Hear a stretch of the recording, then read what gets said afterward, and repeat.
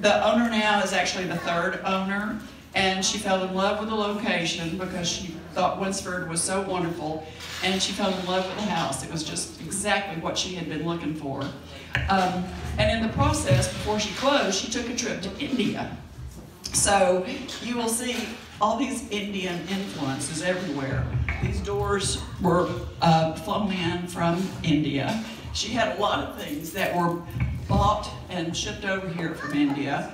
And uh, Cassie Edmonds did this magnificent mosaic tile rug, which is probably the showpiece of the whole house. Um, but she wanted that influence.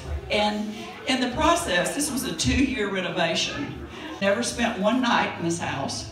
She had Larry Lott do all of the remodel.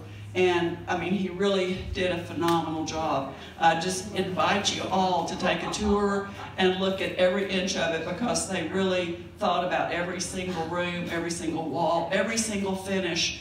Um, this was this was a second story room right here, and she wanted the tall ceiling and open air feeling. So they took out that room and opened up the ceiling so she'd have this 22 foot ceiling. And of course, you know, there's a little look over there, so you can um, drop down your hair if you want to. Anyway, um, it's a it's it's just a beautiful house. Every detail was thought through, and we have it on the market for 1.4 million, which is about half of what she has in the house.